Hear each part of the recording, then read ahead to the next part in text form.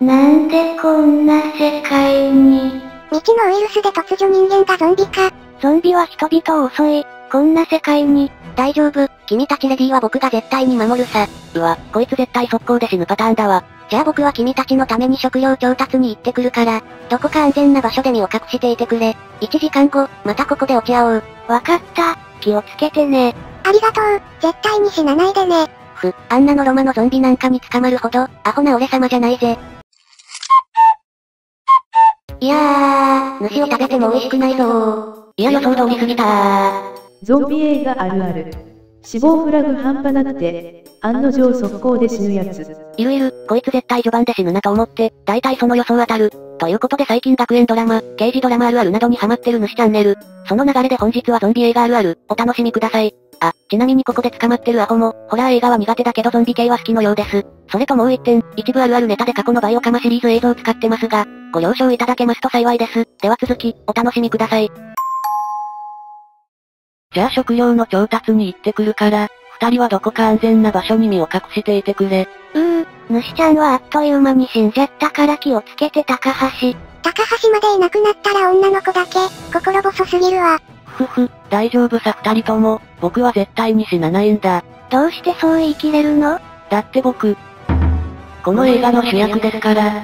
そういうこと言っちゃダメじゃね？ゾンビ映画あるある。主役は絶対最後まで死なない。そりゃね、主役死んだらそこで物語おしまいだもんね。でも確かに、死なないの分かってるからピンチのシーンでもちょっと安心感が。え、えー、っと、その、そっちは何か収穫あった？燃料を手に入れられたけど、その前に正直に言えよお前、左腕、やられたろ？ゾンビにガブッとやられたろ？は、ち、ちげえし意味わからねえし、転んですりむいただけだし。じゃあ傷口見せてみろ。そ、それは、さすがに付き合ってもいないのに見せるのは恥ずかしいというか、裸か。あ、そう。じゃあ見なくてもいいけど、大丈夫？ゾンビの噛みつき痛かったんじゃない？いやー、そりゃもう痛かったけど、かっこよく勇敢に戦い逃げてきたぜ。やっぱ噛まれとるやん。ってことでいつあんたがゾンビに転化してもおかしくないので、永遠にバイバイ。そんなに捨てないでー。ゾンビ映画あるある。噛まれた、噛まれてないで揉める。あるあるすぎて、おし、今日こそ敵の味とをくまなく調べて、奴らの秘密を暴いてやろう。絶対に、絶対に何か弱点や直す方法はあるはず。うんそうね。希望は捨てちゃいけないわ。レイムは、またバスルームかな？きっとそうね、迎えに行きましょう。レイム、行くぞ。まあ大丈夫、みんなならきっと元に戻るさ。そうだぞ、私たちが希望を失ったら、みんなも元には戻せない。さあ、こっちおいで。どんだけどんだけさ。高橋橋、おい高橋、目を覚ませ、お願いだから。う、うよ、よかった。気がついた。私は一体、は、そうだ、レイムは？うん、ダメ。高橋が助けてくれた後、とっさに逃げて隠れてたら、みんなの家の方に向かって行ったわ、きっと。昨日感染してたのね。そうか。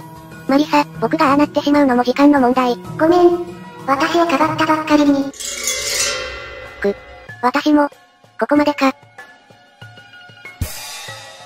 どんだけどんだけどんだけどんだけどんだけどんだけ。ゾンビ映画あるある。どんだけうっせえよ。てか高橋ゾンビなってないやんけ。自分を犠牲に仲間を救出。かっこよく死ぬやつ。まあそれはあるあるだな。それでは、ゾンビ映画あるある、もう一回だけ続く予定なので。なんか出たー。ゾンビ映画あるある。いやそこかな。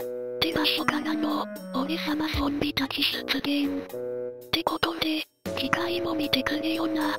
チャンネル初、ゾンビが攻めたー。皆様、本日も主チャンネルをご視聴いただき、誠にありがとうございます。もしよろしかったら、動画投稿の励みとなります。チャンネル登録、高評価、よろしくお願いします。